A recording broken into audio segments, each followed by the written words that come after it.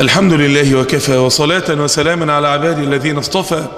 اللهم لك الحمد كله ولك الملك كله وبيدك الخير كله وإليك يرجع الأمر كله. اللهم صل على عبدك ونبيك محمد صلى الله عليه وسلم في الأولين والآخرين والملأ الأعلى إلى يوم الدين. اللهم صل وسلم وزد وبارك على عبدك ونبيك محمد.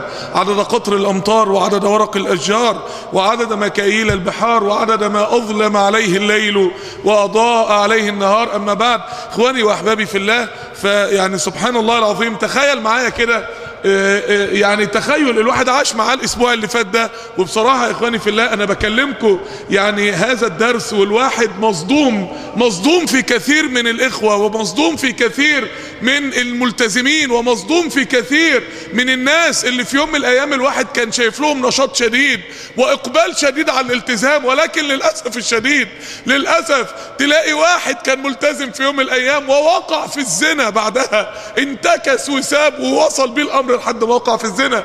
واحد كان ملتزم في يوم من الأيام ووقع في الشبهات لدرجة إنه والعياذ بالله يعني ألحد والعياذ بالله. واحد كان ملتزم في يوم من الأيام ووقع في المعاصي لحد ما صار يسب بالدين والعياذ بالله. واحد كان ملتزم وبعد كده تمر الأيام وتعصف به الفتن لحد ما يبقى يعني ملتزم سلبي منظر من بره وخلاص. لا علاقة له بالدين إلا المنظر وخلاص.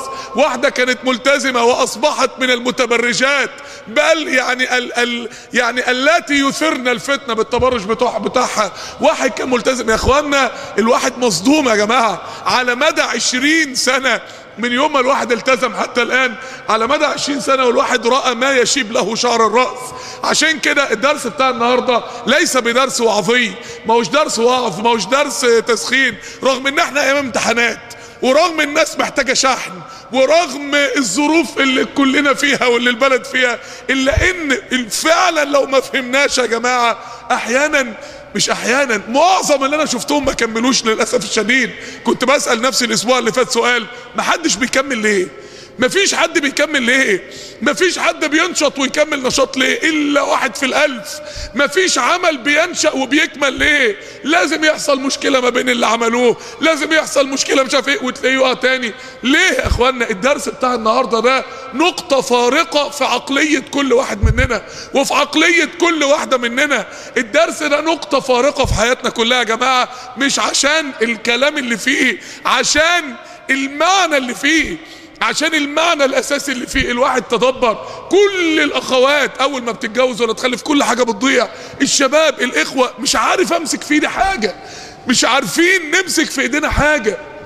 اللي بيكملوا للأسف الشديد قليلين ولكن الأخطر من كده إن كثيرين من اللي بيبقوا معانا بعد كده لما بيسيب الالتزام بيبقى نموذج من أسوأ لا لم تكن تتخيل إن ده هيوصل للمستوى ده. يعني عشان نبدأ مع بعض يا إخواني في الله وإن كنت افتتحت يعني الموضوع الأسبوع اللي فات دوت في مسجد الصديق إلا إن يعني الموضوع يعني إيه قلت لا إحنا نفتحه مع بعض النهارده بإذن الله سبحانه وتعالى نفتحه مع بعض بصورة واضحة بصورة كاملة وربنا ربنا يعيننا رغم إن الوقت ضيق إلا إن ربنا يعيننا إن إحنا نوصل لتصور مع بعض يا جماعة. تخيلوا واحد واحدة اتجوزوا واحد وواحدة وهو مستني كل شهر انها تبشره إن هي حامل وأي زوج مستني إن زوجته تبشره إن هي حامل وعدت شهور وزوجته ما حملتش بل عدت سنة واثنين وثلاثه وأربعة وزوجته ما حملتش ولفوا على الدكاترة في الدنيا كلها وبقت أزمة خانقة في البيت إن ما فيش ذرية إن ما فيش إنجاب وبعد سنين طويلة وبعد مجهود كبير كتير وبعد وبعد.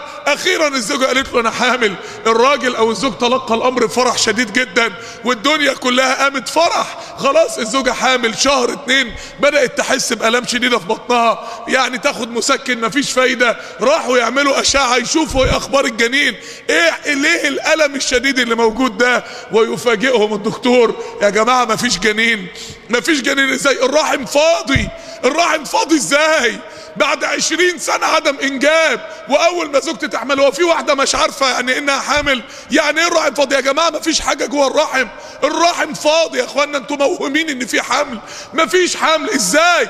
طب دور يدور بالأشعة أكتر. يقول لهم يا صحيح فعلا ده طلع في حمل ولكن حمل خارج الرحم مش جوه الرحم. أنا قاعد أدور في الرحم من ساعتها. حمل خارج الرحم للأسف الشديد. دي الصدمة اللي الواحد اتصدمها على مدى السنين اللي فاتت. اتصدمها في إخوة كتير وهو يظن إن الأخ ده نشيط ما شاء الله والأخ ده مجتهد ما شاء الله والأخ ده داخل بقوة ما شاء الله. واكتشف إن معظم دول ما هم إلا حمل خارج الرحم. ملوش مستقبل مش هيكمل مش هيواصل. الواحد قعد بيبص الكثير من الإخوة الوقت يا جماعة والله العظيم. وبيني وبين نفسي كده أقول الأخ ده والله أعلم ما هوش مكمل. رغم إن ممكن يكون كل اللي حواليه مبهورين بيه. خلاص أنت وصلت القواعد اللي مش هيقبلها مش هيكمل. اللي مش هيقبلها مش هيواصل. اللي مش هيدخل الدين زي ما الصحابة دخلوه مش هينفع. الترقيع في الالتزام لن يؤدي إلى نتيجة. إحنا منهجنا منهج التغيير الحقيقي الجذري وليس منهج الترقيع الجزئي. الترقيع في الالتزام مش هيجيب نتيجة. إنك أنت تفضل تطبطب على اللي قدامك وتقول له حلو جدا ممتاز برافو وأنت عارف إن في أساسيات في الدين ما بيعملهاش. ولكن لإنك خايف عليه إنه ما يقدرش الوقت أو إنه يستصعب الموضوع ما بتقولهالوش. يا إخواني في الله النبي عليه الصلاة والسلام قعد مع 15 واحد ثلاث سنين في دار الأرقم. بقوا هم خلفاء الكرة الأرضية بعد كده. بقوا خلفاء العالم وفاتح العالم بعد كده. القضية مش قضية عدد. القضية مين اللي هيقبل الدين صح؟ عشان كده لما واحد يقول لي طب أعمل إيه؟ عشان ما تحولش لصورة اللي زنى بعد كده اللي والعياذ بالله بقى شغال في بنك ربا وبيستمرئ إنه عايش على الربا وبيأكل مراته وولاده على الربا وبيغذي جسمه على الربا. وهو في يوم من الأيام كان ملتزم ودي كانت في يوم من الأيام ملتزمة ووقعت في مصائب. وده في يوم من الأيام ملتزم ووقع في كوارث. القضية مش إن إحنا بنستقصي هذه القصص الخطيرة القضية إن أنا عايز أفهمها لك النهارده. إن أنت داخل بحر قدامك مليون واحد غريق فيه. اوعى تفتكر إن الموضوع سهل يا ابني. يعني على مدى سنين طويلة المسجد ده طول عمره بيتملى يا جماعة. يا إخوانا يعني أنا أول ما التزمت كانت خطبة الجمعة. لو أنت رحت ساعة الأذان ما بتلحقش مكان لا جوه المسجد ولا ممكن حتى في الساحة اللي قدام المسجد. وكان ناس ملتزمين زيهم زيكم يا إخوانا. اوعى تفتكروا إن هم كانوا يفرقوا عنكم حاجة. وكانوا مكسرين الدنيا. وكانوا إخوة عفاريت. وكانوا حاجة يعني ولكن للأسف الشديد ما كملوش لو ما فين الوقت. أهو كل اللي موجودين الوقت اللي بقاله أكتر من عشر سنين ملتزم يرفع إيده. اللي بقاله أكتر من عشر سنين على طريق الدين والالتزام يرفع إيده. بص حواليك كده بصوا بس حواليكم أنا عايزكم تبصوا حواليكم طب لو تحت وإحنا مش شايفين النساء اللي بقالها أكتر من عشر سنين ملتزمة ترفع إيدها ترفع ايدها كده. أنا عايز الاخوات يبصوا حواليهم ويشوفوا من المصيبة اللي إحنا مش عارفين نكتشفها حتى الآن. محدش بيكمل ليه؟ ليه محدش بيكمل؟ على فكرة يا إخوانا عارفين ليه محد أنا بس بقول لكم يعني نسبة إن بعد عشر سنين تفضل في مكانك دي قد إيه؟ النسبة اللي أنت شفتها دلوقتي لو أنت ما استوعبتش الكلام ده لو انت ما فهمتش الكلام ده بعد عشر سنين نسبة انك انت تبقى موجود لسه في بيئة الدين هي نسبة اللي رفعوا ايديهم ده هم من وسط الألوف المؤلفة اللي الواحد يوم ما التزم كانوا مالين الجوامع وكانت دقونهم والله أطول منكم يا جماعة. يعني زمان كانت الدقون حتى فيها بركة عن الوقت الوقت تلاقي الأخ دقنه كده شعرتين وشعرتين وخلاص. زمان كنت تلاقي دقون ترعب كده. بركة. كان في بركة عن الوقت فما بالك الوقت يبقى الوضع إيه؟ أنا عايز افهمك واقول لك ان إحنا نازلين بحر في مليون جثة. لو انت ما فهمتش هذا الكلام واستوعبته وربنا يعيننا ونقدر نبين أربع معاني يا جماعة. أربع حاجات لازم تقبلها. أربع حاجات لازم تقبلها عشان تفضل مستمر في الطريق ده. أربع حاجات لازم تقبليها عشان تبقي حمل داخل الرحم. هيطلع ثمرة مش حمل خارج الرحم. أربع حاجات لازم تقبلها عشان تزيد وبكرة يبقى في منك ثمرة لدين ربنا.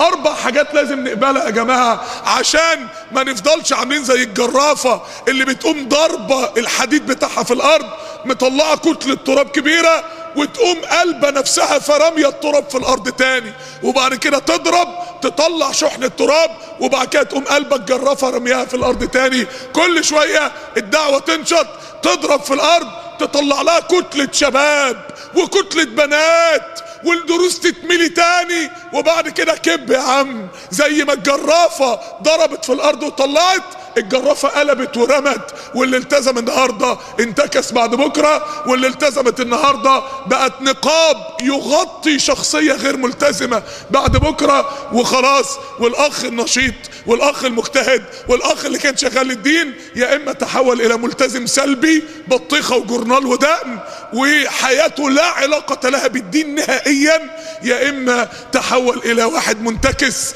عمرك ما كنت تتخيل إنه ينقلب الانقلاب ده أو ينزل في الارتكاز ده. عشان كده في أربع حاجات عايزين نقبلها. أربع حاجات. الحاجة الأولانية قبول الجدية في الدين. اسمع معايا وافهم أنا عايز أوصل إيه.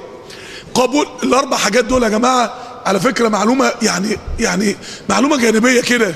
لو الجديد ما قبلهمش والقديم اتكبر عليهم الدين بيقع. الأربع حاجات دول لو الجديد اللي لسه داخل جديد ما فهمهمش وقبلهم والقديم اتكبر عليهم الدين بيقع. المصيبة إن لا الجداد قادرين ينفذوا الأربعة دول ولا القدام راضيين إن هم يقبلوا بيتكبروا على الأربعة دول. فبتلاقي في النهاية صورة الدين فين؟ للأسف بص للواقع بره وانت تعرف حقيقة مستوانا. ما تقيسش حقيقة مستوانا بالصلاة اللي إحنا صليناها. ما تقيسش حقيقة مستوانا بان إحنا لو قمنا الوقت صلينا بصورة قاف كم واحد فينا هيعيط. لا. قيس حقيقة مستوانا الناس بره عاملة إيه؟ لو إحنا كويسين الدين هينتشر بره. لا هنبقى عاملين زي النهر اللي المية بتاعته فاضت. غصب عنها فاضت على الشاطئين فخدرت الأرض على الجنبين. اوعى تبص للمية اللي جوه النهر إلا لما تبص للشواطئ بتاعته. إحنا الوقت مية جوه النهر أهو ولكن الشواطئ اللي بره جرداء صحراء جرداء. يبقى اوعى تفتكر إن أنت الخير زايد عندك. لأن لو الخير زاد عندك الخير هيجي في. في الدنيا اللي أنت بتتعامل معاها. عشان كده أربع معاني لازم نقبلهم. المعنى الأولاني ركز معايا. حتى لا تزول الجبال يا جماعة. وقد مكروا مكرهم وعند الله مكرهم وإن كان مكرهم لتزول منه الجبال. أنا شفت جبال زالت شفت رجال زالت شفت أعمال. النهاردة جبت ورقة وقعدت أكتب أسماء إخوان أنا أسماء أصحابي. حتى لا يضيع فلان وفلان. أنا عارف إنهم ماشيين في طريق ضياع ومش عارف أقول لهم إزاي. وفلان وفلان وفلان وفلان وفلان. أنا قاعد أكتب أسماء وحاسس إن إحنا على وشك مصيبة جديدة. فلان وفلان وفلان وفلان بيضيعوا. أنا شايف قدام عيني بس توصل لهم إزاي؟ بس من الذي يستوعب إن الكلام اللي أنا هقوله ده الصحابة ما بقوش صحابة غير لأنهم قبلوه. الصحابة ما عملوش حاجة للدين غير لأنهم قبلوه. الأربع معاني دول في قبول الدين أو قبول دين أبو بكر وعمر. النقطة الأولى قبول الجدية في الدين. يعني إيه؟ يعني قبول عدم اللعب في الدين. يعني إيه؟ يعني الدين مش لعبة. يعني إيه؟ ما الكلام ده إحنا هبقى يعني إيه؟ عادي يعني ما كلنا بنقول الكلام ده الدين جد. هقول لك يعني إيه؟ رقم اتنين قبول المسؤولية عن الدين. يعني إيه برضو؟ يعني قصدك إن إحنا نبقى سخنين؟ اسمعني هشرح لك دلوقتي. رقم ثلاثة قبول بيئة الإيمان. وده من أخطر المفاهيم اللي ما حدش بيرضى يقبلها. لما مشيت مع بتوع التبليغ إخوة التبليغ لما كنت معاهم في مؤتمر بنجلاديش كل شهر لازم يتقابلوا مع بعض أيام يعبدوا ربنا مع بعض فيها يشتغلوا في الدعوه فيها. كل يوم لازم في أوقات يقابلوا بعض فيها ينزلوا يكلموا الناس فيها ويتقابلوا مع بعض فيها وياكلوا مع بعض فيها. الناس دي عندها بيئة الإيمان مش درس اختياري. بمزاجك حبيت تحضر احضر ما حبيتش تحضر ما تحضرش. الناس دي عندها الدين يا جماعة. عامل زي التجنيد في الجيش عندنا كده. افهم الكلام ده. الناس دي عندها الدين تجنيد إجباري مدى الحياة. إن في أعمال بينك وبين إخوانك في الدين الأعمال دي أنت ملتزم بها مدى الحياة. لو أنت وقعت عنها دينك هيقع. عشان كده أنا بعتبر إن الورش اللي بتتعمل بعد الدرس انتصار. بعتبر إنها نصر ليه؟ لأول مرة الإخوة بتقعد مع بعض من غير ما يكون في شيخ بينهم من غير ما يكون في داعية. الإخوة لما يقول لك ليلة إيمانية فيها الداعية الفلاني والداعية الفلاني. الإخوة تيجي إنما لو هم اتفقوا مع بعض هنتقابل عشان نعمل حاجة دينية مع بعض في وسط الأسبوع من غير ما يكون في داعية ما حدش بيجي. ففكرة الورش إن الشباب بدأوا يقبلوا إنهم يقعدوا مع بعض على صحبة إيمانية من غير ما يكون في شيخ موجود يبقى قبول الجدية في الدين اتنين قبول المسؤولية عن الدين تلاتة قبول بيئة الإيمان وإلا هتبقى حمل خارج الرحم. ملكش مستقبل هتبقى بتنمو وبتنشط بره الرحم. في النهاية الجسم هيلفظك هيلفظك. مالكش مستقبل أربعة قبول الجندية للدين. يعني إيه برضو قبول الجندية للدين؟ نبدأ يا إخواني في الله بالمعنى الأولاني وزي ما بقول لك ركز معاك كويس جدا. يعني إيه قبول الجديه في الدين؟ يعني قبول عدم اللعب في الدين. يعني إيه؟ يعني الدين مش لعبه يعني إيه؟ يعني ربنا قال للنبي عليه الصلاة والسلام واصبر نفسك. قال للنبي إيه؟ نجيب البتاع ده كده؟ يعني ربنا سبحانه وتعالى قال للنبي عليه الصلاة والسلام واصبر نفسك. مع مين؟ ربنا كأنه بيقول للنبي اوعى تضيع عمرك مع أي حد اوعى تدي عمرك لأي حد. التربية دي المربي بيسخر عمره للطالب. فكأن ربنا بيقول للنبي اوعى تدي للي مش هيجي من وراه خير بعد كده للدين. فربنا بيقول للنبي يدي عمره لمين؟ فبيقول له واصبر نفسك مع مع مين يا رب؟ مين يا رب اللي المربي يديله عمره؟ مين الأخ اللي يستاهل الاهتمام من المربي والمعلم؟ مع الذين يدعون ربهم بالغداة والعشي يريدون وجهه. يعني إيه يا جماعة؟ خلونا نترجمها بلغتنا. يعني إيه يدعون ربهم بالغداة والعشي؟ يعني مع اللي الدين عنده ثابت مقدس في حياته. مع اللي الدين عندها ثابت مقدس في حياتها. يعني إيه؟ يعني في أخ لما بيحصل عنده مشكلة مع مراته أوف! أنا لا قادر أجي دين ولا قادر أشوف دروس ولا قادر أشتغل في دعوة. في أخ لما بيحصل عنده مشكلة مادية يقول لك أنا لا يمكن أفكر في الدين في الوقت ده. في أخ لما بيحصل عنده مشكلة نفسية أو اجتماعية أو دراسية أو أزمة من الأزمات اللي موجودة دلوقتي يعتزل تماما التفكير في الدين. يبقى يعني إيه مع الذين يدعون ربهم بالغداة والعشي يعني مع اللي الدين عندهم ثابت مقدس في حياتهم مع اللي الدين عندهم أولوية في حياتهم مع اللي سورة القيامة نازلة عشانهم. ربنا قال في سورة القيامة ينبأ الإنسان يومئذ بما إيه؟ بما قدم وأخر. يعني إيه بما قدم؟ باللي كان مقدم عنده في الحياة. قدمت إيه؟ وبما اخ وما أخر. إيه اللي كان في الآخر؟ يجي يجي أو ما يجيش ما يجيش.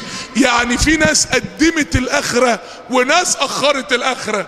اللي قدم الآخرة كسب إيه؟ في نفس الصورة. وجوه يومئذ يومئذ يعني يوم القيامة يومئذ ناظرة إلى ربها ناظرة. اللي قدم الآخرة اللي قدم وكانت أولويته في حياته ربنا شاف النعيم وشاف وجه الله يوم القيامة قبل ما أي حد يشوفه في الجنة. يعني قدم له النعيم. طب اللي اخر طب اللي اخر الآخرة في حياته؟ طب اللي ما كانتش أولوياته هي دينه؟ طب اللي كان أي مشكلة تضغط عليه يرمي الدين عشانها؟ ها؟ ووجوه يومئذ باسرة. زي الطفل المبتسر كده. ممتقع اللون مسحوب الدم. تظن أن يفعل بها فاقرة. يعني إيه؟ أنت عارف لما واحد يجي بياخدوا واحد يعذبوه فالتاني يقول هتعملوا فيه إيه؟ استنى أنت أنت في الآخر. انت كنت مأخر الدين خليك انت في الآخر. اقعد اتفرج بس على التعذيب بتاع غيرك طول خمسين ألف سنة يوم القيامة وانت لسه في الآخر الحساب بتاعك ما جاش دورك. فهو مفزوع تظن أن يفعل بها فاقرة حاسس إن هيتقطم وسطه دلوقتي. ولكن مجرد تأخير العذاب عليه عذاب أشد من العذاب.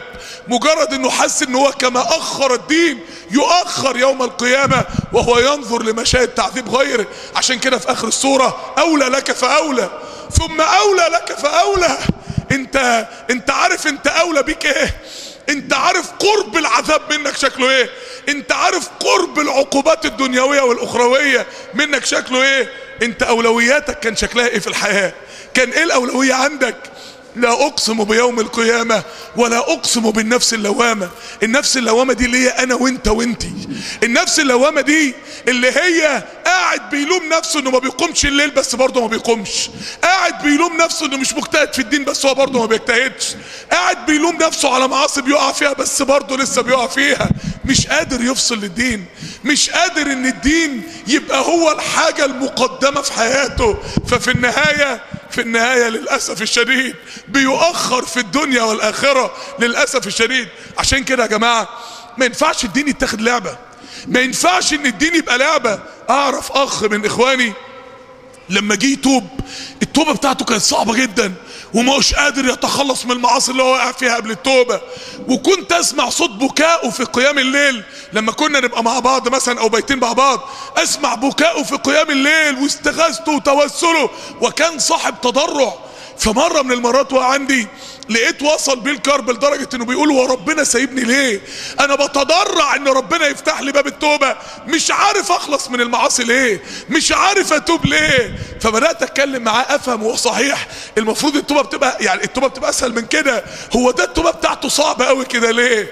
عرفت إنه في يوم من الأيام كان ملتزم وكان ملتزم قوي فواحد اداله مادة كده عليها فيلم وحش فيلم من الأفلام القذرة يعني.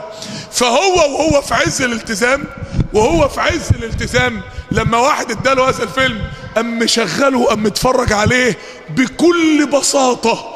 وكانت بداية الانتكاسة بتاعته وهو ده السبب إنه مشي في طريق غير الالتزام. فلما جه يرجع للالتزام لقى الصعوبة دي فقلت يا نهار أبيض قلت له خلاص بانت. عاملة زي قصة طالوت وجالوت كده وزي قصة بني إسرائيل مع موسى في سورة المائدة. لما قال لهم ادخلوا الأرض المقدسة فإذا دخلتموه فإنكم غالبون. قال لهم روحوا أنتوا بس فلسطين ربنا هيفتحها لكم مالكوش دعوة. الطريق هيبقى أسهل من السهولة. مرضوش.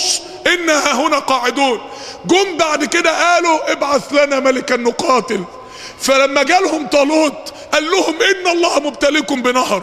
وكل معظمكم هيشرب منه. وبعد كده هتمشوا في صحراء مهلكة. وبعد كده هتلاقوا العمالقة مستنيينكم الكنعانيين في فلسطين. طب الطريق بقى صعب ليه؟ في يوم من الأيام ربنا قال لنا الطريق هيبقى سهل. لا اللي ربنا طلبه منك قبل كده اللي ربنا طلبه منهم قبل كده وهم رفضوه جم الوقت هم اللي يطلبوه. بس اللي كان قبل كده ببلاش ما عادش النهارده ببلاش. عشان يتعلموا إن الدين مش لعبة. أهو ده اللي حصل مع صاحبي بالظبط. إن هو في الأول لعب بالدين لعب. ربنا فتح له أبواب الطاعة وهو أول ما اتفتح له باب في المعصية رمى كل حاجة وجري على المعصية. فلما جه في يوم من الأيام يقول أنا عايز أرجع يا رب يبقى لازم تعرف تمن الدين بقى المرة دي. لازم تعرف إن التمن غالي. الباب اللي ربنا فتحه لك الوقت في الدين لو أنت استهترت بيه ولعبت بيه هيتاخد منك. ويوم ما تيجي ترجع تاني ما تعرفش هتقف على الباب قد إيه عشان يتفتح لك تاني. الفتح اللي ربنا فتحه لك الوقت في الدين لو أنت لعبت بيه هيتاخد منك. ويوم ما تحبي ترجعي ما تعرفيش ممكن تقفي على الباب قد إيه ما يتفتح لك تاني. ما تلعبش بالدين ما تلعبش بدينك. بالذات ساعة الفتح أخ وهو منطلق في الدين آه يقول لي جالي سفرية معينة مثلا تجارية بيقول لي وأنا في عز الانطلاق. رحت كل اللي أنا كنت فيه ضاع. قلت له يا ابني هو مش سفرية مش حرام إنما في إنسان لما يتفتح قدامه فتح في الدين وفتح في الدنيا يرمي فتح الدين ويجري على فتح الدنيا اوعى تستهتر بفتح ربنا عليك. اوعى تست... اوعى تلعب بالدين. اللي هيلعب بالالتزام هيتكنس يا جماعة. اللي هيلعب بالأخوة هيتحرم من الأخوة. اللي ربنا هيفتح له أبواب العبادة وهيلعب فيها هو حر. لو جت بعد كده عثرت عليه ما ما يستغربش. لو ربنا فتح قلبك للقرآن ولعبت في علاقتك بالقرآن لما تيجي بعد كده تقرأ القرآن تلاقيه تقيل على قلبك تقيل على لسانك تقيل على نفسك. ما تستغربش. لأن قبل كده ربنا فتح لك وأنت لعبت. دي رسالة من ربنا ما تلعبش تاني. عشان تعرف قيمة الدين المرة دي لازم نعرف لازم تفهم إن الجدية في الدين هي الصح إن هو ده الفكر الصح يا إخوانا. لما سعيد بن عامر مراته اعترضت على إنه طلع كل فلوسه صدقة قال لها إيه؟ كلمة ونص. إني لا ينتظرني جزاء ما أفعل. حور عين في الجنة. لو أطلت إحداهن على الأرض لأنارت الأرض من جمالها. ها؟ وإني لمضح بك من أجلهن ولست بمضح بهن من أجلك. سكتت. القصة خلصت. لما معاذ بن عفراء مراته اعترضت على إنه بيطلع كل حاجة صدقة قال لها إيه؟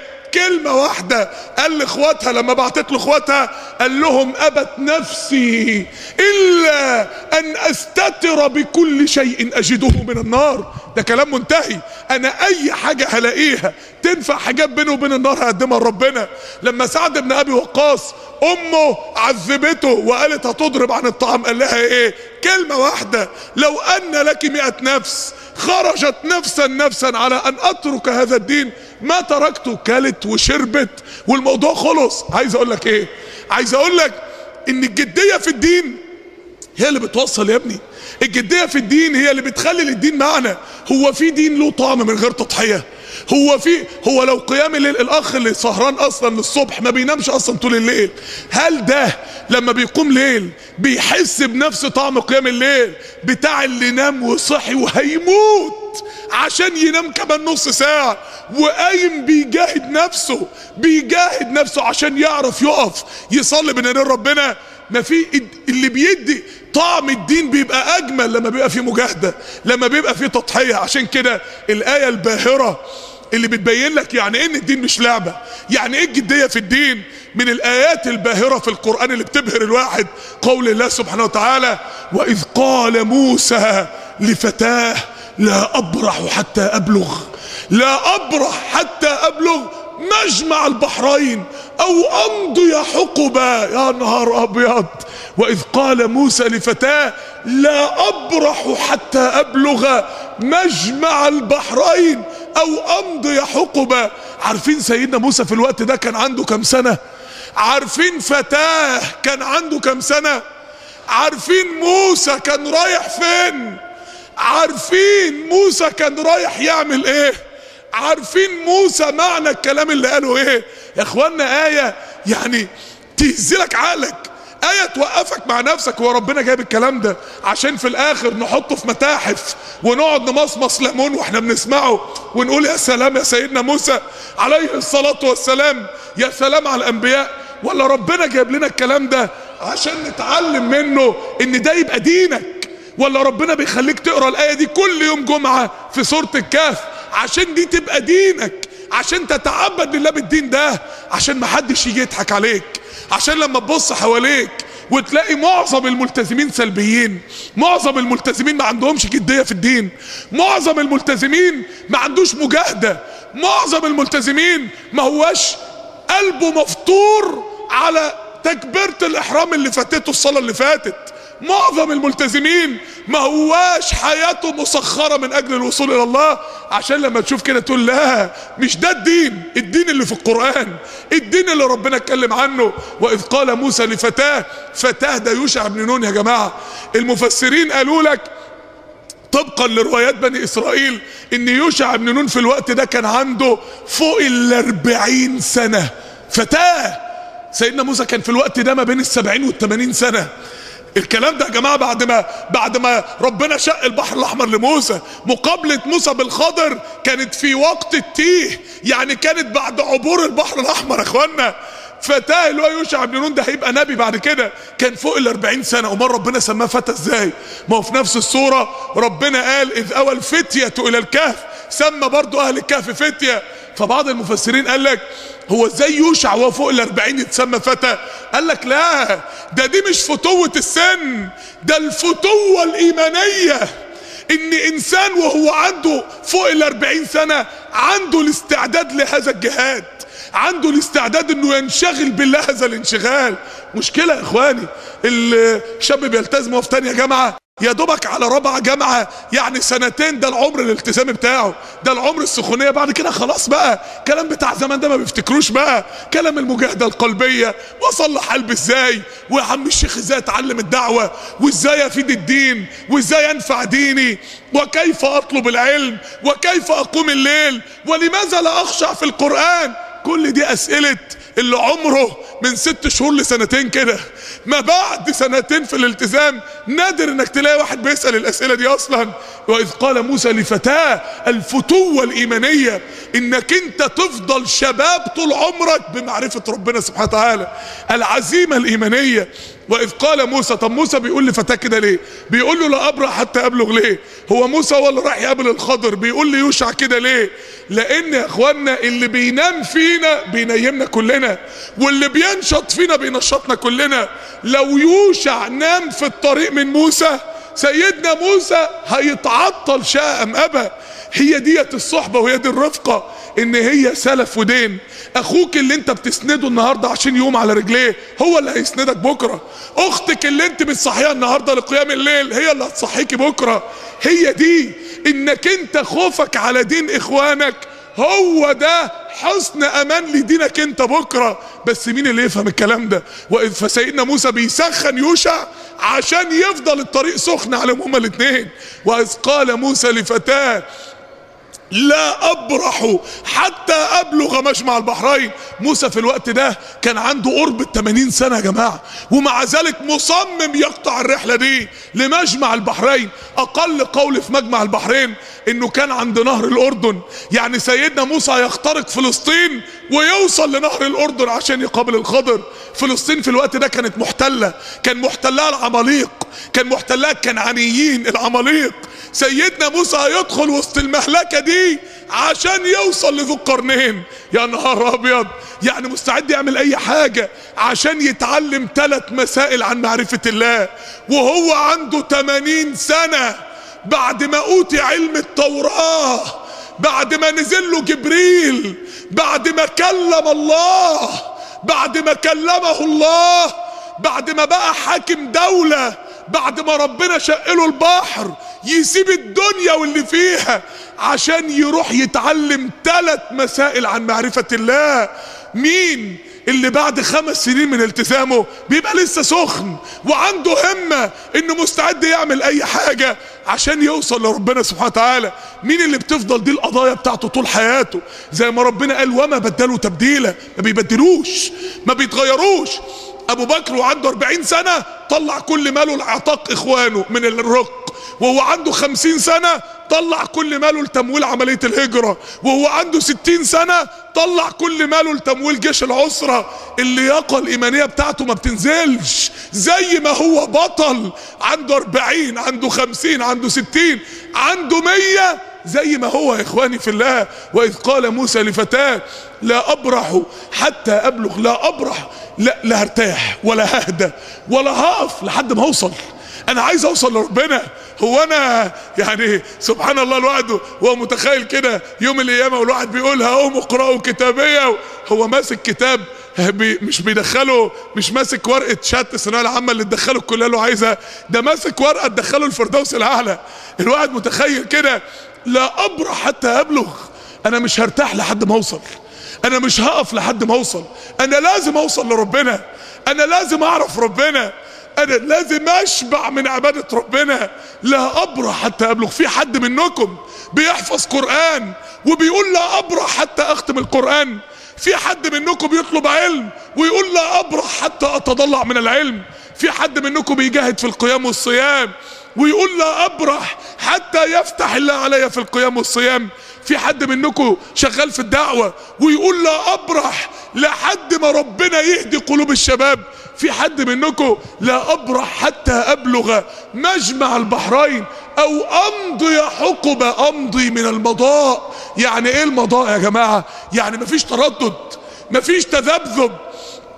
يعني عمرك أغلى من إنك تضيعه في التردد والتذبذب. عمرك أغلى. أنا نفسي اللي عندهم 30 سنة يعرفوا قيمة العمر اللي هم لسه فيه. نفسي اللي عندهم 20 سنة يفهموا قيمة العمر اللي هم لسه فيه. نفسي اللي عندهم نفسي كل واحد مننا يفهم قيمة العمر اللي هو فيه. مش لازم العمر يضيع منك عشان تفهم قيمته أو امضي من المضاء. وامضوا حيث تؤمرون. من المضاء مش هتردد. مش هتذبذب.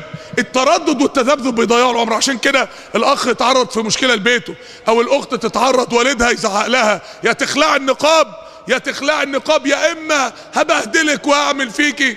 فتدخل في مرحلة تردد. أسمع كلام والدي ولا ولا أثبت على أنا فيه ولا. التردد ده في حد ذاته بيحرق الإيمان في القلب.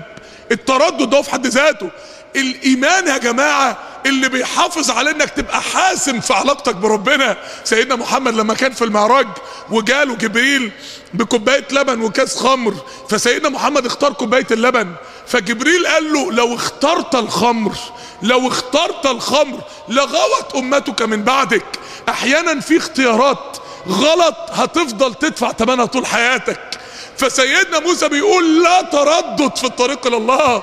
هتردد من مين ومين أو أمضي حقبه يا اخوانا لو أنا قلت لك تختار عشرة مليون جنيه ولا تختار شلن لو واحد تردد يبقى مجنون. هو في واحد يتردد ما بين عشرة مليون جنيه وشلن طب إيه رأيك بقى؟ ده ده متردد ما بين مخلوق ومخلوق. أمال اللي يتردد ما بين الخالق وما بين مخلوق؟ أمال اللي يتردد ما بين الجنة وما بين الدنيا؟ إحنا عايزين نبقى واثقين من الطريق بتاعنا. زي سعيد بن عامر قال لمراته كلمة خلصت الموضوع. زي سعد بن أبي وقاص قال له أمه كلمة خلصت الموضوع. زي معاذ بن عفراء قال لمراته كلمة خلصت الموضوع. أو أمضي من المضاء لا تردد ولا تذبذب. أو أمضي حقبة. الحقب ديت يعني ما بين 80 سنة الحقبة وما بين آلاف السنين وما بين علماء الأحياء يقول لك الحقبة دي ملايين السنين أصلا. ها ملايين السنين أو أمضي حقبة. يعني الحقب دي كام 100 سنة يعني؟ سيدنا موسى قصده كام 100 سنة. سيدنا موسى كان عنده 80 سنة. مش هيعيش مئات السنين اللي بيتكلم عنها ولكن همة المؤمن أعلى من عمره. همة المؤمن وطموح المؤمن أعلى من عمره. يعني لو أنا دلوقتي اديتك ورقة وقلم وقلت لك اكتب طموحاتك في الدين اكتب الحاجات اللي أنت نفسك تعملها في الدين. الحاجات دي عايزة كام سنة عشان تتعمل؟ بس الحاجات الجد مش الأحلام اللي أنت يعني إيه اللي بتتبخر ديت قبل ما الواحد ينام أو يدخل في النوم. لا لا لا لا. الأحلام اللي أنت عايش حياتك عشان تحققها. الأحلام اللي أنت لا تتخيل إنك تموت وأنت ما عملتهاش. الأحلام اللي أنت الموت عندك أسهل من إنك أنت ما تتحققش. أحلامك في الدين اللي بالمنظر ده قد إيه؟ المؤمن أحلامه أطول من عمره ولو خد ألف سنة فوق عمره. اخوانا قضية قبول الجدية. ده أول نقطة. قبول عدم اللعب. ما تلعبش في دين ربنا. ما تلعبش بالدين. ما مش لما يجي أي عارض آه والله أنا النهارده ما فيش وقت إن أنا أروح التحفيظ. لا لا النهارده ما فيش وقت إن أنا أجي الدرس. لا لا الأسبوع ده مش هقدر بقى إن أنا إيه, إيه إن أنا يعني ال ال يعني إيه القعدة الجلسة الإيمانية اللي بيني وبين إخواني الأسبوعية ديت إن أنا أروحها. لا لا لا الجلسة العلمية الأسبوع ده أو الدرس العلمي الأسبوع ده أنا مش فاضي إن أنا أروحه. يا جماعة الدين ده عامل زي التجنيد بتاع الجيش بالظبط. بس تجنيد بدل الحياة. أنت مجند. لما تيجي تفهم دي كام واحد من الإخوة هارب من التجنيد بقى. وفاكر إنه ملتزم. وفاكر إنه كويس. يبقى النقطة الأولى قبول الجدية في الدين. النقطة التانية قبول بيئة الإيمان. إحنا قلنا حمل خارج الرحم. عشان ما تبقاش حمل خارج الرحم. قبول بيئة الإيمان. آية قلتها لكم قبل كده. بس لما تقارن أول كلمة فيها بآخر آية فيها تحس إنك اتفزعت. ومن الناس من يعبد الله. يعبد الله. خد بالك يعبد الله إيه؟ على حرف. يعبد الله معناه إن ده حمل. حمل. على حرف معناه إنه حمل خارج الرحم. يبقى بيعبد الله أهو بيصلي وبيجتهد وبيعمل مشاريع دينية وشادد ما شاء الله ودايس بنزين ولكن طلعت المصيبة على حرف خارج الرحم حمل خارج الرحم وكل الناس بصلوا واو! الأخ فلان المجتهد الأخ فلان اللي مكسر الدنيا الأخ فلان النشيط. وانت تبص له كده يا عيني يا غلبان واقع واقع يا ابني واقع واقع إلا بمعجزة من ربنا سبحانه وتعالى. ليه؟ حمل خارج الرحم يا جماعة لأنه حمل خارج بيئة الإيمان عازل نفسه عن إخوانه. الأخ اللي مش قادر يفهم قضية الورش وقيمة الورش ده مش قادر يفهم الفكرة اللي إحنا قاعدين نتكلم عنها أصلا. الأخ اللي بيقعد في الورش ويقعد يسلم على الناس ويضحكوا مع بعض وبعد كده يروح وما يشوفش صحبة الورشة غير الأسبوع اللي بعده ما هوش فاهم إحنا بنتكلم عن إيه. يا إخوانا انت لازم تقاتل عشان يبقى ليك بيئة دينية. تقاتل عشان يبقى ليك بيئة إيمانية. يبقى ليك بيئة دينية. البيئة الإيمانية يعني زي مثلا قبول بيئة الإيمان زي موضوع الورش كده. زي موضوع الورش زي موضوع إحنا لو تفتكروا اتكلمنا قبل كده في درس آه يا ريتني عرفتكم من زمان عن قضية الورش ده إيه؟ عن قضية الصحبة الإيمانية عن قضية البيئة الإيمانية. يا جماعة آه لما كنت سبحان الله العظيم يعني بفكر كده في احاديث النبي عليه الصلاة والسلام لقيت إن في ناس عظماء وقعوا في الأرض بسبب إنهم تركوا بيئة الإيمان. وناس ضايعين علوا في السماء بسبب إنهم قاوا بيئة الإيمان. عياش بن أبي ربيعة. عياش بن أبي ربيعة رضي الله عنه ده صحابي من الصحابة الكبار بتوع النبي عليه السلام اللي النبي كان بيدعي لهم في صحيح البخاري. اللهم أنجي عياش بن أبي ربيعة. سيدنا عياش رجع رجع بعد ما هاجر أبو جهل راح جابه من المدينة لمكه تاني. قال له أمك لا تأكل ولا تشرب ومبهدلة نفسها. وفيها وحصل ولك مال في مكة وتعالى خد فلوسك وفلوسك هتتاخد وأرضك هتتصادر. عياش بن أبي ربيعة ساب المدينة ورجع مكة فترك النبي سنوات حتى نزل قول الله قل يا عبادي الذين أسرفوا على أنفسهم لا تقنطوا من رحمة الله. فكانت سبب في عودة عائشه بن أبي ربيعة. ده عايز أقول لك إن ده صحابي وفتن. وفتن ويعني حدثت هذه الفتنة الرهيبة في حياته بسبب إن هو ترك بيئة الإيمان. في حين إن قاتل المئة وهو ضايع لما قصد بيئة الإيمان ربنا أجرى له معجزات. أجرى له معجزات. ربنا بيقول لك ومن الناس من يعبد الله على حرف. فإن أصابه خير اطمأن به. يعني ممكن تلاقيه مجتهد لما الدنيا تبقى مروقة معاه مية مية. وإن أصابته فتنة انقلب. وإن أصابته فتنة انقلب. كثير من الإخوة بسبب الأحداث اللي بتحصل في الواقع مشلول ما بيعملش أي حاجة في دينه. أمال لو الأزمة شدت عن كده يا جماعة ده هيعمل إيه ده؟ أمال لو تعرض لمشكلة حقيقية بسبب مثلا في, في ظروف البلد شدت هيعمل إيه ده؟ اللي سايب الدين وسايب الدعوة بسبب الظروف بتاعت البلد دلوقتي. أمال لما تبقى الظروف بجد هيعمل إيه ده؟ وإن أصابته فتنة أمال ده لما يتفتن هيعمل إيه؟ أحيانا تشوف أخ وهو الدنيا لسه ما هي صعبة معاه تلاقيه ضيع كل حاجة. تقول سبحان الله أمال ده لما يدخل في فتنة بحق وحقيقي هيعمل إيه ده؟ وإن أصابته فتنة انقلب على وجهه. خسر الدنيا والآخرة. لما تقارن ما بين أول كلمة في الآية يعبد الله وما بين آخر كلمة خسر الدنيا والآخرة تقول يا للدرجة دي في ناس ممكن تضيع في ناس ممكن تقع. سبحان الله العظيم كان إمام بيصلي بينا فجت عند قول الله سبحانه وتعالى حتى إذا جاء أحدهم واحد لوحده وحيد واحد لوحده أحدهم الموت. قال رب ارجعون. لعلي اعمل بيتكلم على إنه واحد.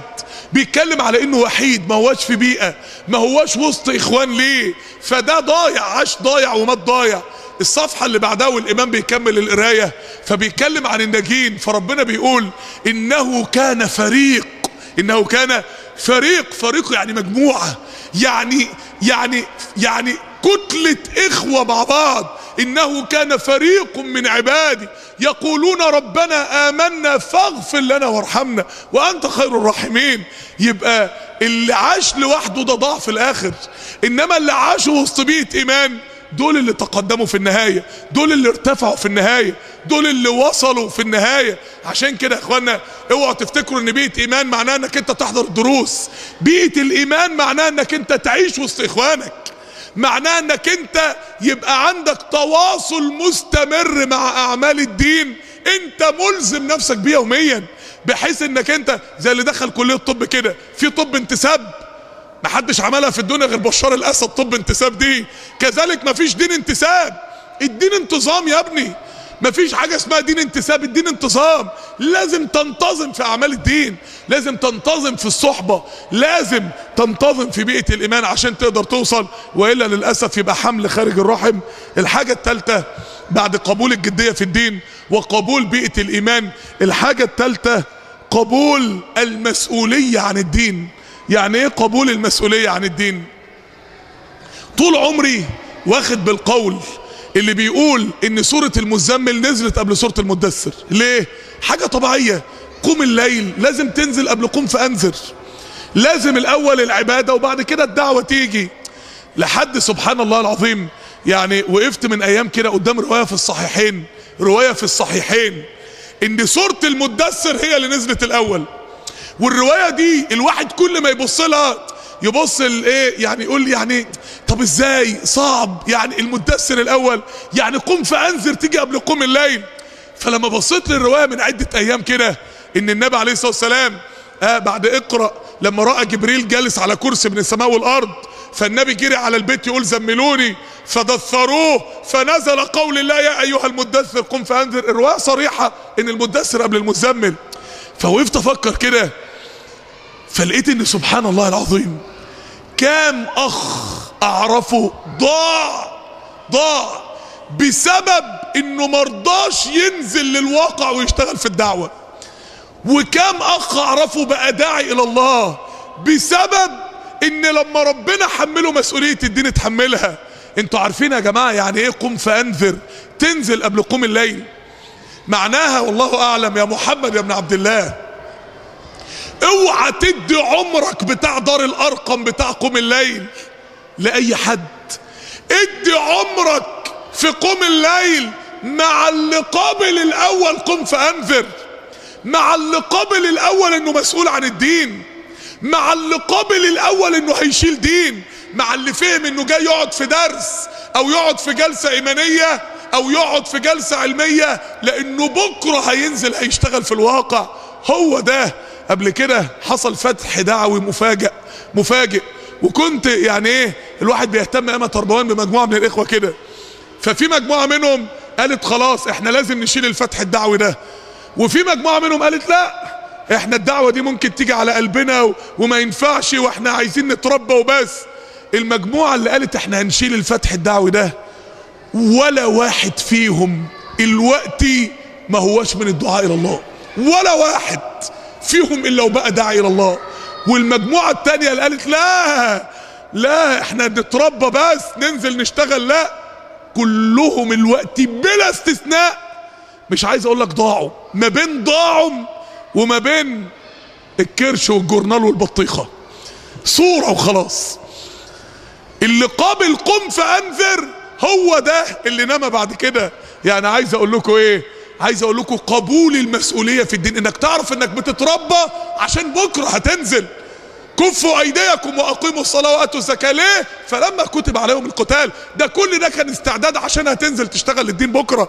انما في واحد يقول لك أنا أنا عايز اتربى وبس مفيش حاجة. يا ابني لو أنتوا فاكرين الدرس بتاع الم... الجمعة اللي فاتت سيدنا إبراهيم لما تدبر في الكوكب والشمس والقمر قال وجهت وجهي للذي فطر السماوات. وصل لمقامات إيمانية نورانية في العبادة. ولما نزل اشتغل في الدعوة قال فأي الفريقين أحق بالأمن؟ وصل لمقامات إيمانية نورانية تانية برضه. زي ما العبادة بتربي الدعوة بتربي.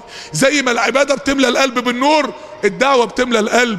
بالنور. عشان كده يا اخوانا من أسباب ضياع كثير من الإخوة إنه مش واخد الدين إنه جيش.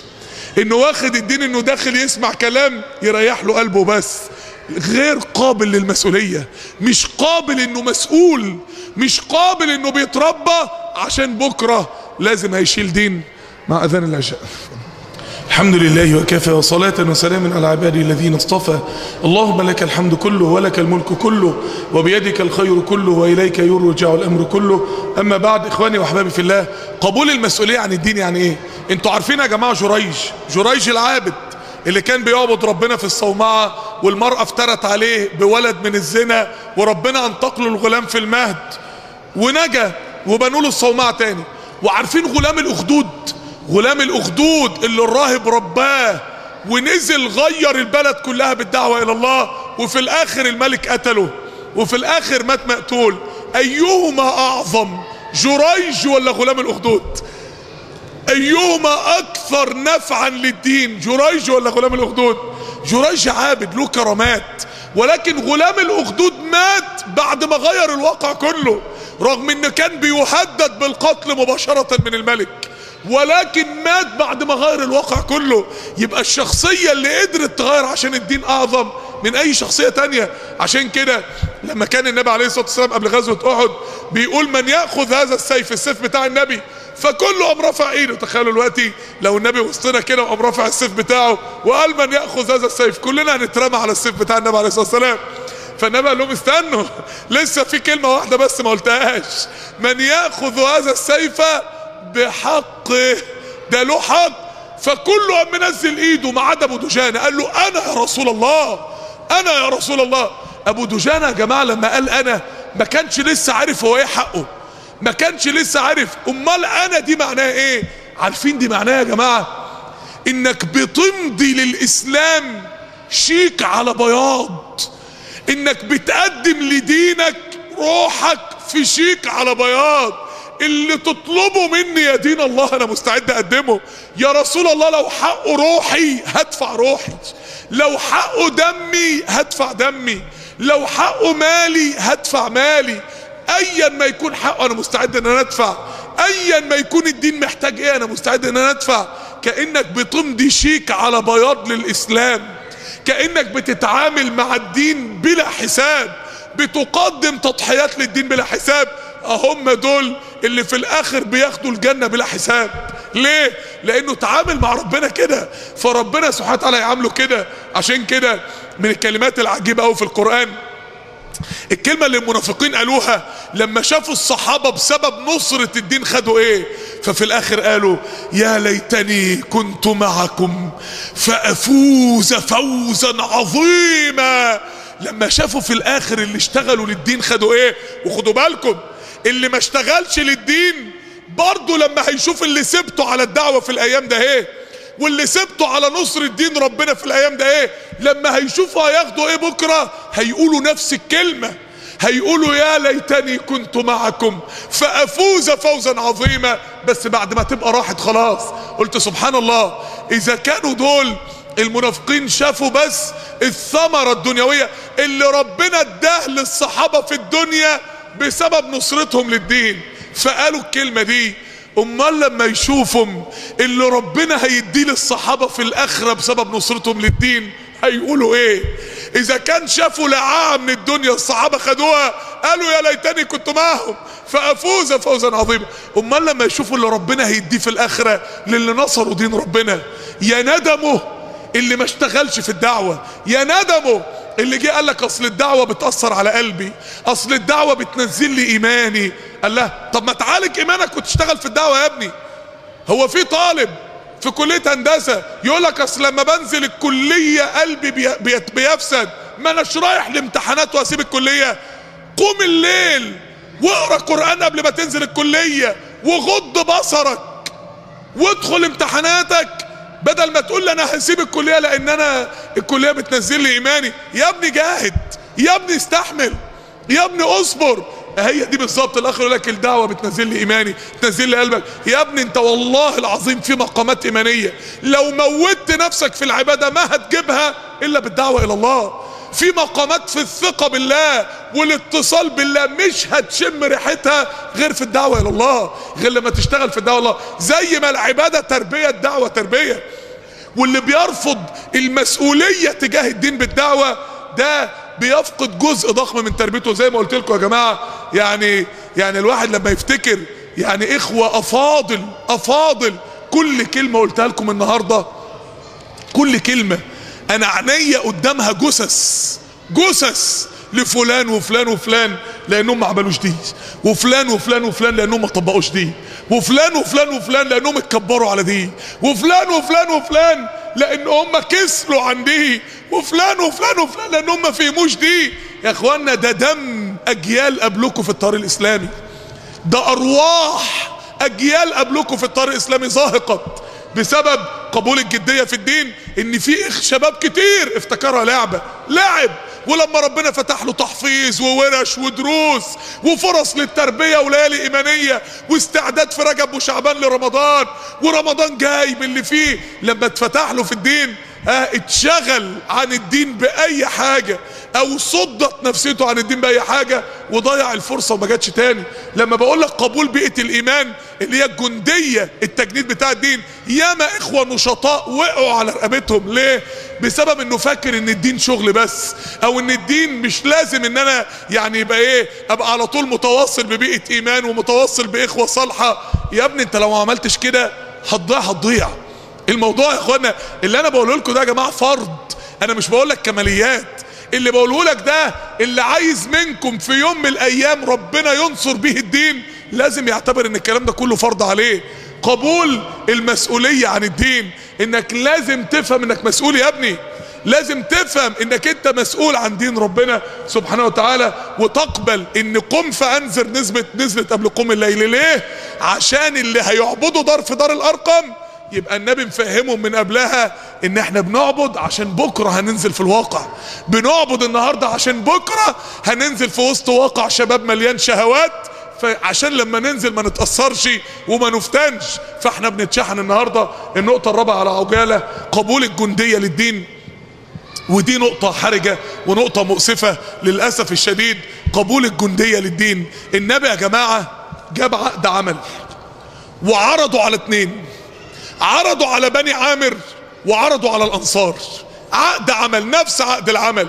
مين اللي يسمع ويطيع؟ مين اللي ينفق في العسر واليسر؟ مين اللي يمنعني مما يمنع منه نساءه وابناءه مين اللي يشيل الدين معاه؟ نفس شروط بيعة العقبة. النبي عرض العرض على بنو عامر وعرضه على الأنصار. بنو عامر قبلوا وصدقوا إن النبي نبي وصدقوا إن الدين ده من عند ربنا.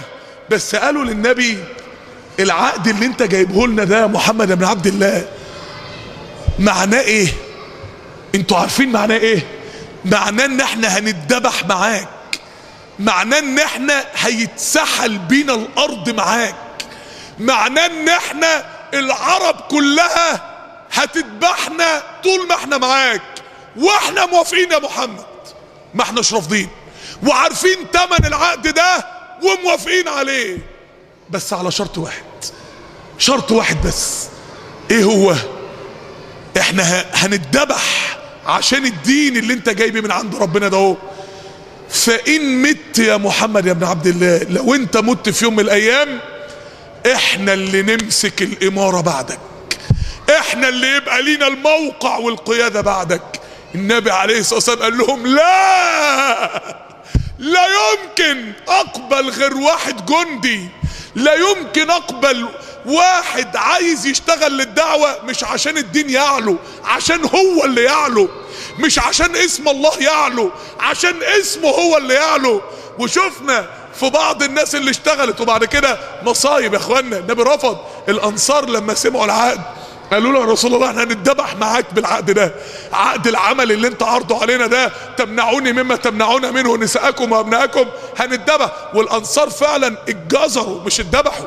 مذبحه بئر معونة مذبحه ال ال الاحد غزوة أحد. مذبحه مذبحه إيه؟ الرجيع مذابح الأنصار اتذبحوا فيها. قالوا له يا رسول الله إحنا هنتذبح. الكلام ده معناه إن إحنا هنتذبح. طب إحنا لينا إيه؟ إحنا موافقين. ماشي. بس لينا إيه؟ قال لهم الجنة. ملكوش أي حاجة تانية. بس بس. يعني مش هنمسك موقع ابدا. ده خالد بن الوليد يوم ما هيجي بسبب دمكم وهيجي هيبقى قائد عليكم وأمير عليكم. إزاي؟ ده غنائم فتح مكة اللي مش هتيجي غير بدمكم هتتوزع على غيركم. إزاي؟ هو كده. موافقين؟ قالوا له موافقين. لا نقيل ولا نستقيل. وكان الأنصار هم العصب بتاع نصرة الدين في الأرض. لأنهم اللي وافقوا إنهم يدوا من غير ما ياخدوا حاجة. اللي مضيع الواقع إيه؟ إن كل أخ عايز يعمل أي مشروع ديني عايز يبقى هو الأمير بتاعه. كل أخ عايز يبذل مجهود عايز يبقى هو الكبير. أخ اللي عايز يبذل مجهود عايز... يا إخواني في الله قبول الجندية في الدين. سبحان الله العظيم كنت بفكر النهاردة في أول جريمة قتل تمت على وجه الأرض. تمت بسبب إيه؟ أول جريمة قتل. لما أبيل قتل هابيل قتله بسبب إيه؟ بسبب إيه؟ النساء صح. غلط. غلط. الناس معتقدة إن قتله بسبب إنه كان عايز يتجوز. الكلام ده كله خلص وبعد كده بقى في قربان. ده قدم قربان وده قدم قربان. فتقبل من أحدهما ولم يتقبل من الآخر. قال لاقتلنك لما لقى أخوه ارتفع في الدين عنه قال هقتلك. أول جريمة قتل تمت على وجه الأرض كانت بسبب الموقع.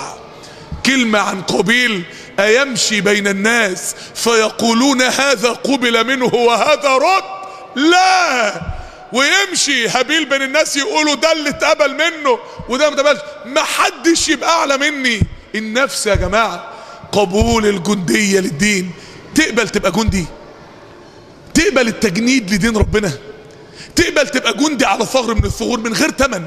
مش عشان تبقى ماسك الثغر ده ولا عشان نيجي نسقف لك في الآخر ونقول برافو يا جماعة الأخ فلان عمل كذا.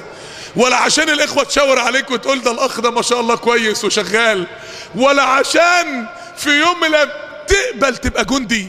تقبل اللي الأنصار قبلوه من رسول الله في يوم من الأيام. تقبل الجندية لدين الله. للأسف الشديد تحكم النفوس يا مضايع إخوة في النهاية. إخواني وأحبابي في الله درس الليلة حتى لا تزول الجبال. عشان ما تجيش في يوم من الأيام ويبقى دينك مجرد ذكريات. درس الليلة حمل خارج الرحم. يعبد الله حمل على حرف خارج الرحم. خارج بيئة الإيمان. عشان ما تكتشفش إنك كنت مجرد حمل خارج الرحم. أي أخ شغال في الدين بره بيئة الإيمان حمل خارج الرحم. عشان كده التوصيات بتاعت النهاردة أول حاجة بإذن الله. أول حاجة موضوع الورش يا جماعة. أنا عارف إن إحنا أيام الامتحانات. وعارف إن في هنا طلبة. وعارف إن هو ها خلي الورش تلت ساعة بعد العشاء. إنما اوعى تفقد إخوانك. واوعوا الورش تبقى مجرد عمل نقعد مع بعض ونضحك في وش بعض ونتقابل الأسبوع الجاي. أنتوا لازم تقاتلوا عشان تبقوا صحبة لبعض. الواحد لما بيقعد مع بعض إخوانه يقضوا مع بعض يوم والله بيحس إنه في الجنة. بيحس إنه في الجنة بيحس إنه النعمة دي يا رب إزاي كل الإخوة تعرفها؟ إزاي كل الأخوات تحس بيها؟ إزاي الكل يفهم نعمة السند؟ نعمة الشراكة في الطريق إلى الله نعمة إنك ليك حد تقدر تعبد ربنا معاه. على رأي اخ من الإخوة ده أنا لو حد جه اشتغل عندي في المصنع بتاعي ولا اشتغل عندي في الشغل بتاعي بيساعدني في الدنيا ببقى مقدره قد إيه؟ ويديله مرتب اللي بيساعدني في الدين اللي بيساعدني عشان أبقى مع النبي في الجنة أرميه أفرط فيه أزهد فيه ما أعرفش قيمته. يبقى ده إنسان عاقل. إذا كان اللي بيساعدك في الدنيا لو واحد قال لك أنا هذاكر معاك وهشجعك في المذاكرة بتشيله على راسك ووالدتك بتطبخ له فرختين كل يوم عشان يفضل مهدي بالله وقاعد يذاكر معاك. ما عارفة إن ابنها هيسقط من غيره. صح ولا لأ؟ كثيرين بيعملوا كده يعني. آه ولو واحد قال لك بس هساعدك في نقطة كذا على. طب واحد بيقول لك أنا إيدي في إيدك ندخل الجنة مع بعض. إيدي في إيدك ندخل الفردوس الأعلى مع بعض. إزاي وثق الذين اتقوا ربهم إلى الجنة إيه؟ زمرة مش فرادة. ما حدش بيدخل الجنة لوحده. ممكن تدخل الجنة مع الورشة اللي انت فيها دي. ممكن تدخل الجنة مع صحباتك اللي حواليك دول. عشان كده الحاجة الأولانية موضوع الورش. وزي ما قلت لكم يا جماعة الورش دي نصر نصر. إن وسط السلفيين اللي والعياذ بالله عند بعضهم عبودية يعني التعلق القلب من دون الله بالشيخ بالداعية. والعياذ بالله إن الإخوة تقبل إنها تقعد مع بعض. من غير ما يكون في داعية وسطهم. إن الإخوة تقبل إنها تعيش مع بعض. ده نصر يا جماعة. لازم ندعم النصر ده. أنت لما بتقعد في الورشة أنت مش بس بتلاقي صحبة صالحة أنت بتدعم نموذج أنت بتدعم نموذج بيئة إيمان. عايزين نصدره للدنيا كلها. انت بتدعمي نموذج صحبة إيمانية. عشان كده الورش مفيش فيها بطل وكومبارس كل اللي قاعدين في كل ورشة أبطال. لازم يفكروا إزاي نملى حياة بعض بالدين طول الأسبوع. إزاي إن إحنا نخطو مع بعض إلى الله طول الأسبوع. إن شاء الله بندور يعني إن شاء الله بإذن الله على مسجد في رمضان يضمنا كلنا.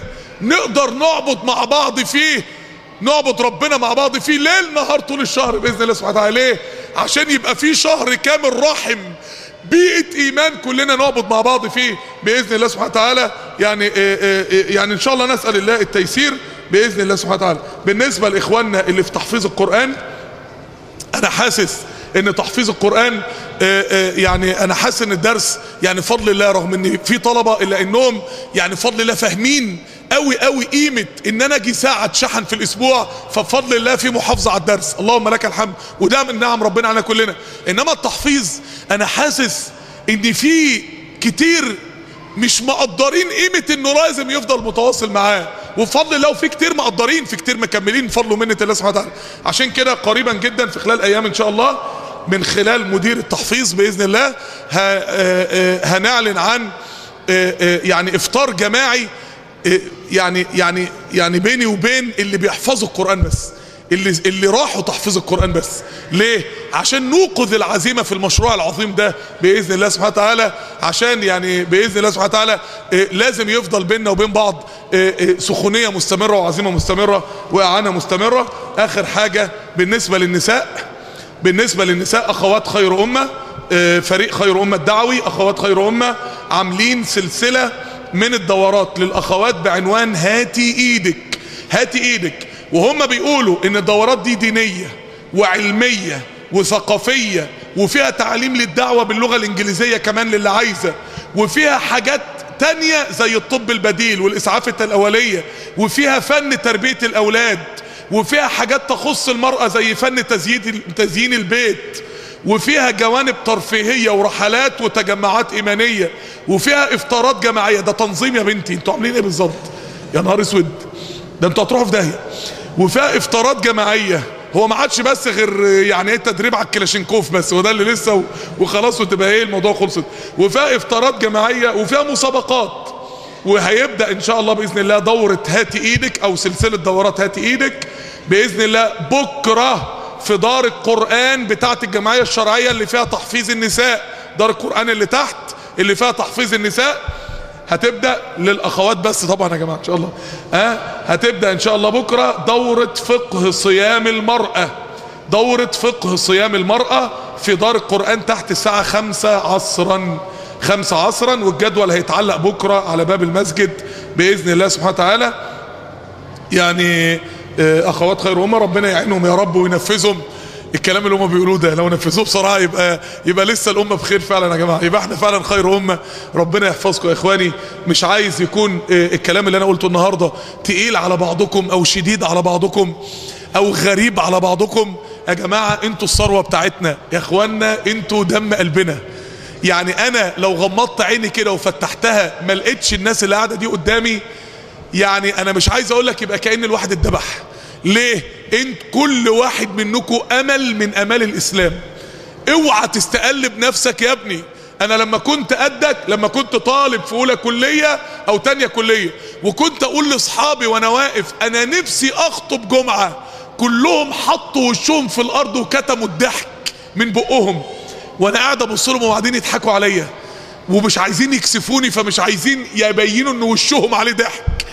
وشكلي ما يدمش إن ده ممكن يعمل حاجة في الدنيا أصلا أو إن ده ممكن يثبت في طريق الدين أصلا.